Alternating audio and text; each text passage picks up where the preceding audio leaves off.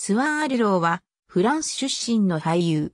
スワン・アルローは1981年11月30日にフランスのフォントネオーローズ出身の俳優である。舞台装置家の父と舞台監督チーフキャスティングを務める母のもとで生まれ、自身も早くから子役としてキャリアを始めている。俳優、マックス・ビアールの孫にあたる。父方の祖父は、スイスの脚本家ロドルフ・モーリス・アルロー。当時は映画業界に出入りしていたが、家族と同じ業界に進むつもりはなく、画家を目指すために、ストラスブール装飾美術学校で装飾美術を専攻、卒業している。後に TV シリーズで俳優としての地位を築いていった。2018年に起き継続中の黄色いベスト運動を支持している。アナーキスト愛と革命の時代でアナーキスト組織のリーダー、エリゼ役で2015年、セザール賞有望若手新人賞を受賞。また、ブラッディミルクの主人公、ピエール役で2018年に、同賞の主演男優賞を受賞した。同年度のリュミエール賞最優秀男優賞、グローブ・ドゥ・クリスタル・ベスト・アクターにもノミネートされた。フランス映画祭2018にて初来日している。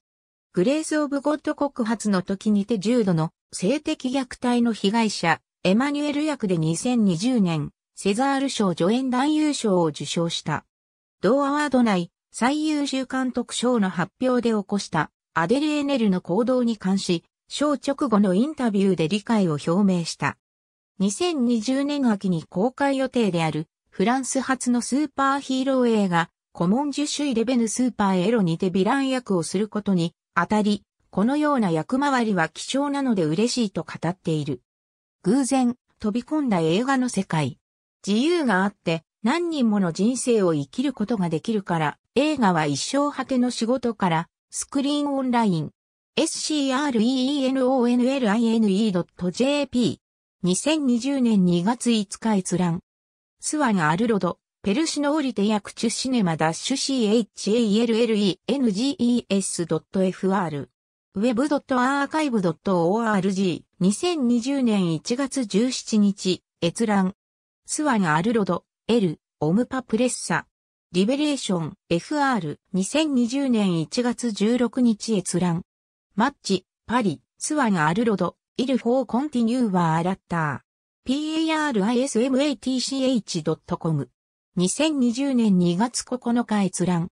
トロックスカーラ、ウィー・アレノットフール・ドバー by 2万アーティスト、アンドクリエイターズサイン、A コールインサポートオブイエローベスツインフランス。www.tlaxcala-int.org.2020 年2月9日閲覧。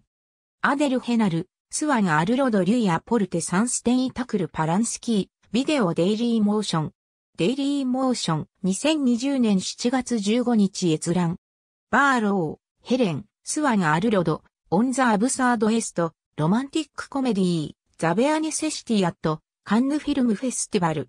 コライダー、2020年1月16日閲覧。